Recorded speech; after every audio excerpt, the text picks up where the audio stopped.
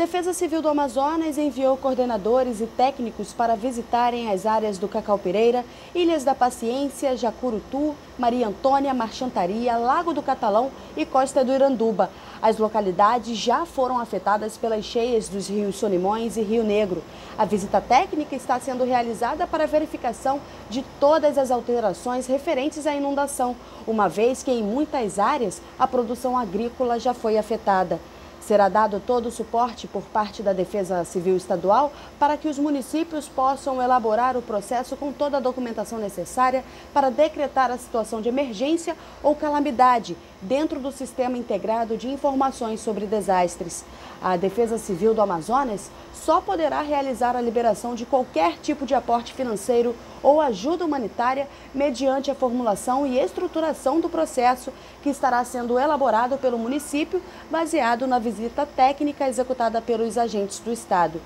E mudando de assunto, a Agência de Defesa Agropecuária e Florestal do Estado do Amazonas informa que estão suspensas temporariamente as penalidades administrativas da primeira etapa da campanha Amazonas sem febre aftosa, em 49 municípios pertencentes às calhas dos rios Amazonas e Solimões e das regiões sul e sudeste do estado. A decisão foi tomada considerando as dificuldades que os produtores tiveram por causa das medidas restritivas de trânsito que impediam o deslocamento de suas propriedades rurais às sedes municipais para aquisição da vacina e, posteriormente, para a realização da notificação da vacinação.